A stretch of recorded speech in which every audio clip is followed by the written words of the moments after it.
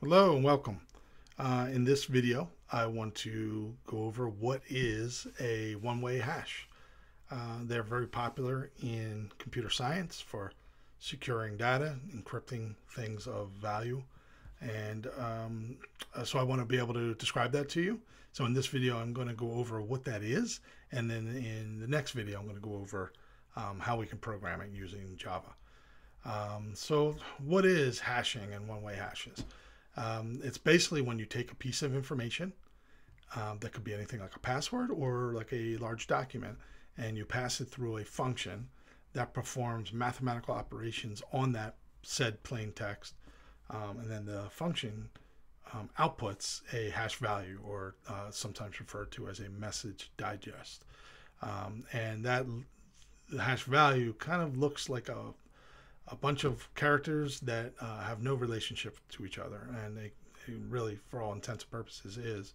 Um, the one defining characteristic of a one-way hash is the mathematical equation that, that happens here that produces this is not meant to. There doesn't exist a algorithm to reverse it, so that's why it's one way, um, and th- that's what makes it very secure.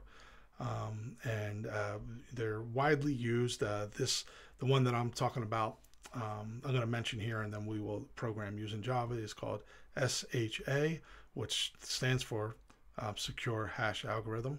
And um, as you can see here, it says it was developed by NASA in 2001. Um, that was SHA1, and there's since been a, a, bunch of variations of it, including SHA256 and 512. Um, and as you might suspect, the more bits, um, the more secure it is.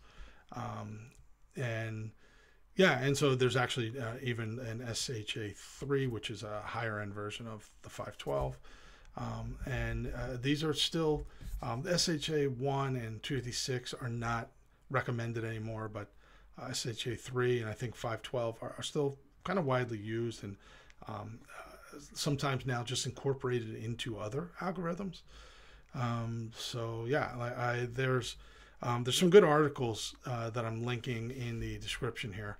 If you really want to try to understand the math, I, I will just say I don't really um, uh, understand the full um, algorithm as far as the math is concerned.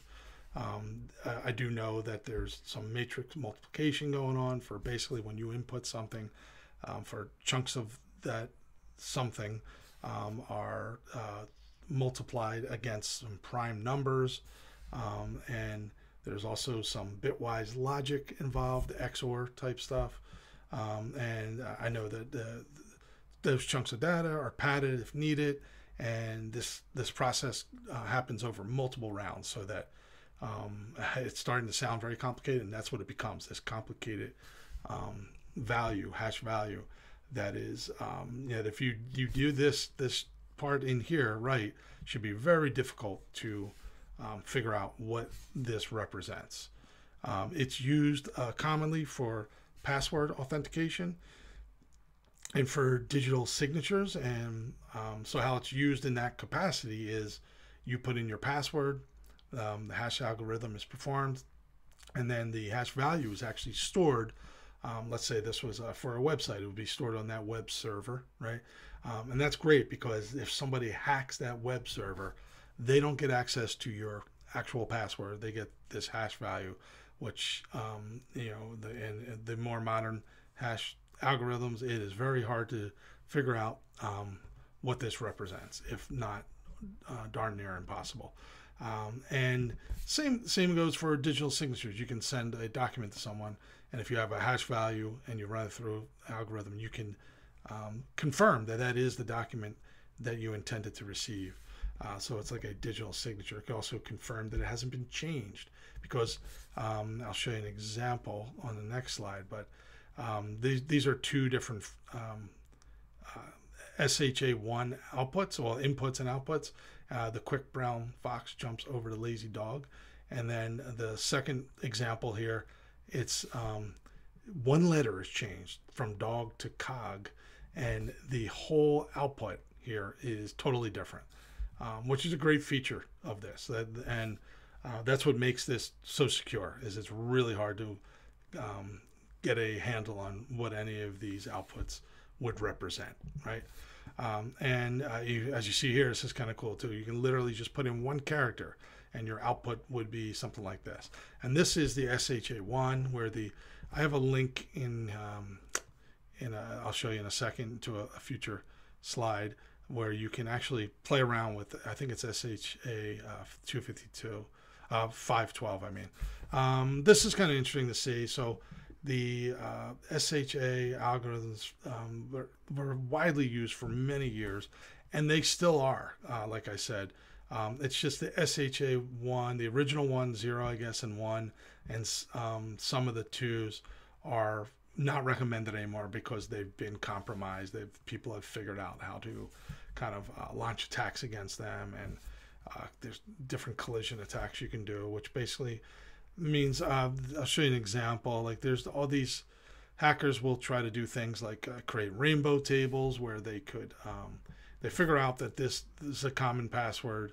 Um, so when they they hack a, a web server, um, they were able to figure out that this common password results in this, um, and so they could use that to um, I mean, honestly, if you use a password that is fairly unique, you shouldn't have to worry about this.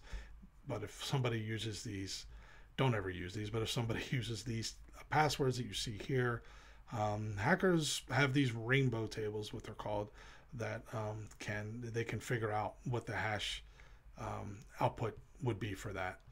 Um, yeah, and then there's some brute force that you could do, but like I said, the um, good luck brute forcing some of the more modern versions. It's just really tough. I'm sure as computers get faster, hackers will figure that out. But um, right now, these all look to be really strong. The ones I'm in green here, um, so you shouldn't have to worry too much about that. Um, so yeah, that that's oh I, mentioned collisions here. Collisions are um, if you put in two different inputs and they produce the same output. That should never happen. Um, it, uh, it has happened, I guess, for some um, of the earlier ones, um, but uh, you know, the if you if you the, the, modern ones, that shouldn't be a problem. Um, and so, yeah, so that, that's it. I think I've covered everything that you would want to know about um, one-way hash and, and hashing. Um, and uh, the next video, like I said, I'm going to talk about how we can code this. Uh, it's actually not that uh, difficult with some of Java's built-in libraries. Um, so yeah, let me know if you have any questions though. I'd love to hear from you. Thanks.